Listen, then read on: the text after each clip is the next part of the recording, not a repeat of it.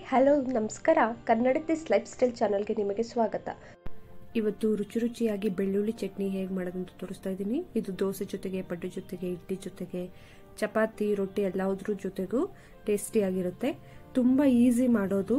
ರೆಸಿಪಿಗೆ ಬೇಕಿರೋ ಇಂಗ್ರೀಡಿಯೆಂಟ್ಸ್ನ ನಾನು ಡಿಸ್ಕ್ರಿಪ್ಷನಲ್ಲಿ ಹಾಕಿರ್ತೀನಿ. ಚೆಕ್ ಮಾಡಿ.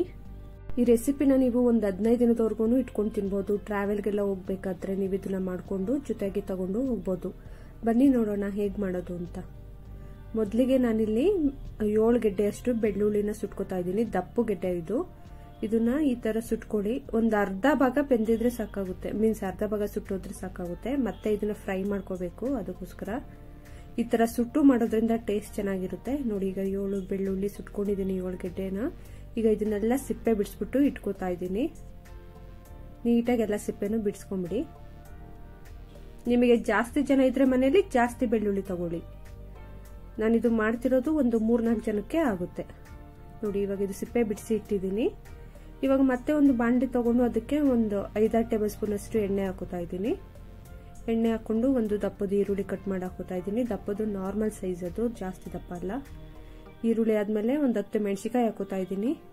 ಮೆಣಸಿಕಾಯಿ ನಿಮ್ಮ ಖಾರಕ್ಕೆ ತಕ್ಕಂತೆ ನೋಡ್ಬಿಟ್ಟು ಹಾಕೊಳ್ಳಿ ಮೆಣಸಿಕಾಯಿ ಒಂದೊಂದು ಖಾರ ಇರುತ್ತೆ, ಒಂದೊಂದು ಖಾರ ಇರಲ್ಲ. ಸೊ ನೋಡ್ಬಿಟ್ಟು ಹಾಕೊಳ್ಳಿ ಚೆನ್ನಾಗಿ ಫ್ರೈ ಮಾಡ್ಕೊಳ್ಳಿ ಲೋ ಫ್ಲೇಮಲ್ಲೇ ಒಂದು ಐದು ನಿಮಿಷ ಫ್ರೈ ಮಾಡ್ಕೊಳ್ಳಿ ಇದನ್ನು.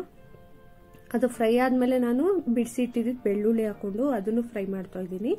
ಅದನ್ನು ಒಂದು ಐದು ನಿಮಿಷ ಲೋ ಫ್ಲೇಮಲ್ಲೇ ಫ್ರೈ ಮಾಡ್ಕೊಳ್ಳಿ. ಒಂದು ಹತ್ತು ನಿಮಿಷ ಫ್ರೈ ಆಗಬೇಕು ಎಲ್ಲ ಸೇರಿ.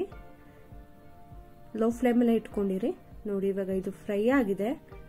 ಇದು ಫುಲ್ಲು ಆರೋಕೆ ಇಟ್ಬಿಡಿ. ಆರಿದ ಮೇಲೆ ಇದನ್ನ ರುಬ್ಕೋಬೇಕು. ಇದನ್ನ ರುಬ್ಕೊಳಕ್ ಹಾಕೊಂಡು ನಾನು ನಿಂಬೆಹಣ್ಣಷ್ಟು ಗಾತ್ರದ ಹುಣಸೆಹಣ್ಣು ಹಾಕೋತಾ ಇದ್ದೀನಿ.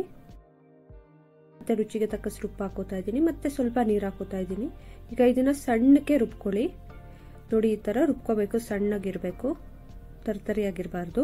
ಇವಾಗ ಮತ್ತೆ ಅದೇ ಬಾಣಲೆಗೆ ಎರಡು ಟೇಬಲ್ ಸ್ಪೂನ್ ಅಷ್ಟು ಎಣ್ಣೆ ಹಾಕೋತಾ ಇದ್ದೀನಿ. ಮತ್ತೆ ಸಾಸಿವೆ ಹಾಕೋತಾ ಇದ್ದೀನಿ ಸ್ವಲ್ಪ, ಮತ್ತೆ ಜೀರಿಗೆ ಸ್ವಲ್ಪ, ಮತ್ತೆ ಕರಿಬೇವಿನ ಸೊಪ್ಪು ಹಾಕೊಂಡು ಹಾಗೆ ಫ್ರೈ ಮಾಡ್ಕೊಳ್ಳಿ. ಈಗ ಇದನ್ನ ನಾವು ರುಬ್ಕೊಂಡಿದ್ದ ಚಟ್ನಿದು ಮಸಾಲೆ ಸೇರಿಸ್ಕೊತಾ ಇದ್ದೀನಿ. ಚಟ್ನಿನ ಒಂದು ಎರಡು ಮೂರು ನಿಮಿಷ ಫ್ರೈ ಮಾಡ್ಕೊಳ್ಳಿ ಅಷ್ಟೇನೆ ಸಣ್ಣ ಫ್ರೈ ಮಾಡ್ಕೊಳ್ಳಿ. ನೋಡಿ, ಇವಾಗ ಇದು ಫ್ರೈ ಆಗಿದೆ, ಚಟ್ನಿ ರೆಡಿ ಆಗಿದೆ ತಿನ್ನೋಕೆ. ನೋಡಿ ಟೇಸ್ಟು ಅಷ್ಟೇ ತುಂಬ ಚೆನ್ನಾಗಿರುತ್ತೆ. ಇವತ್ತು ನಾನು ಮಾಡಿರೋ ರೆಸಿಪಿ ನಿಮ್ಗೆ ಇಷ್ಟ ಆಗಿದೆ ಅನ್ಕೋತೀನಿ. ರೆಸಿಪಿ ಇಷ್ಟ ಆಗಿದ್ರೆ ವಿಡಿಯೋನ ಲೈಕ್ ಮಾಡಿ, ಹಾಗೆ ನಿಮ್ಮ ಸ್ನೇಹಿತರೊಂದಿಗೆ ಹಂಚಿಕೊಳ್ಳಿ. ನೀವಿನ್ನೂ ನಮ್ಮ ಚಾನಲ್ಗೆ ಸಬ್ಸ್ಕ್ರೈಬ್ ಆಗಿಲ್ಲ ಅಂದರೆ ದಯವಿಟ್ಟು ಸಬ್ಸ್ಕ್ರೈಬ್ ಆಗಿ, ಹಾಗೆ ಪಕ್ಕದಲ್ಲಿರೋ ಬೆಲ್ ಐಕನನ್ನು ಕ್ಲಿಕ್ ಮಾಡಿ. ಆಗ ನಾನು ಅಪ್ಲೋಡ್ ಮಾಡೋ ವಿಡಿಯೋಸ್ ಎಲ್ಲ ನಿಮಗೆ ಇಮಿಡಿಯೇಟ್ ಆಗಿ ಬರುತ್ತೆ. ಥ್ಯಾಂಕ್ ಯು ಧನ್ಯವಾದಗಳು. ಜೈ ಆಂಜನೇಯ.